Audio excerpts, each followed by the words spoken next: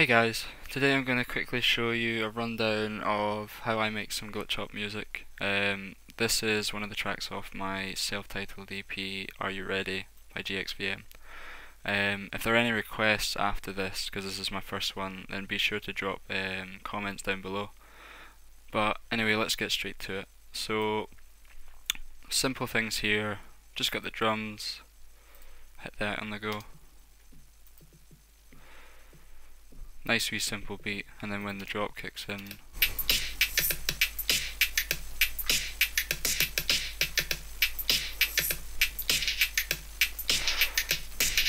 so nothing too complicated there. But what you're wanting to do, I feel, when you're making glitch hop is you want to just get everything going, everything hitting at one point, just jumping between each other. So I don't have too many patches in this um, bass line. But I'll give you a quick preview of what the bassline sounds by itself.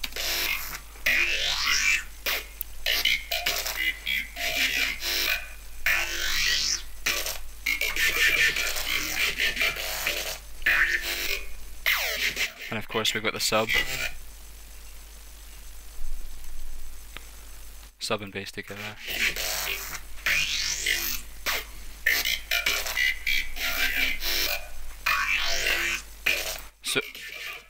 So just quickly, I'll go through the patches that I'm made here. Um, simply, this is our MIDI clip. Not nothing too spectacular. For the talking lead, that was made in FM8. Um, so, as for effects, I just used the talk wah for this, just to give it that mouth sound, automating it just a phaser and some reverb in the chorus as well, but that's the main section behind this track. Um, if we go on to the other sections, I've got um, a replication of a Kill the Noise bass I've got in Massive, which isn't too Kill the Noisy, but it's close enough. Um, some things I did were experimented with the phase on this you can definitely get some different kind of sounds there. But um, if we go on, I've got another patch. This is just a growl bass. So that is just the same patch, just with some automation on it. I think just under here, yeah, here's the automation. So if we just listen to this, it's got the EQ8 with some peaks and troughs on it, just automating up and down with a wow fil filter, just with a preset on it. Just without it, you can see, just not that much. Just gives it a bit more life in it. Uh, if we go on, we've got a wee laser sound as well, uh, just here, which is just a blip, just a wee bleep sound or something like that you would get. Um, just goes up different pitches and stuff. Uh, just a bass here, just just like a kind of almost just like it's filtered in almost sort of thing without the attack. Um, I've got a wee wobble bass version of the kill bass, which is the exact same patch, just with a, a wobble in this second scream filter. Um, if you guys want any of these patches, be sure to hit me up with a comment and I'd be happy to put them in a media share file for you guys. I still use some of them now, but I've been trying to change some sounds. But uh, the last one here in this is a scratch, just kind of wobble. So it's got that kind of gritty front towards it. It's just a really distorted, bit crushed ambient wobble that I made for one of my older tracks, and I just crushed it.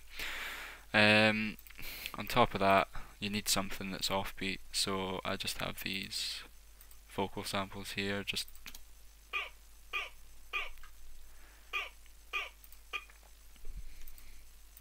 and all together.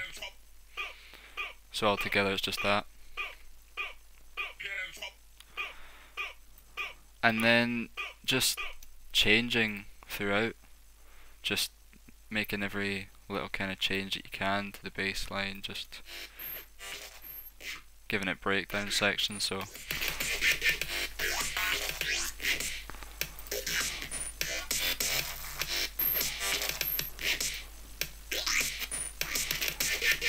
and then just jumping back into it.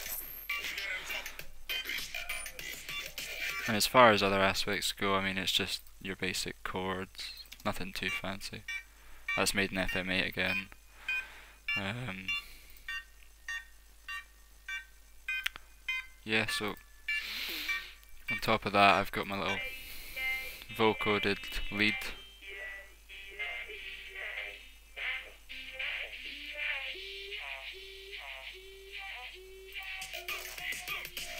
And then just some white noise to build up and a snare roll as well. Filtered up.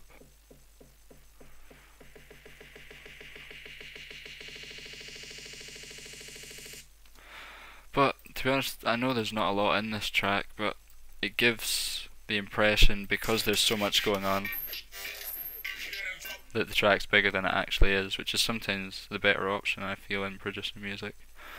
But um, that'll do for just now, guys. If you want any more info on this track, you can be sure to check it out at my uh, SoundCloud. I'll put links below. But um, if there's any on my profile as well that you see that I haven't covered that you might want a tutorial on or a sound or just something, just be sure to contact me and I'd be happy to get back to you guys. But this has been my first attempt at this. I might sound a wee bit kind of anxious and scared, but that's only because I've never done one of these before. But um, hopefully you've enjoyed this and I'll see you next time.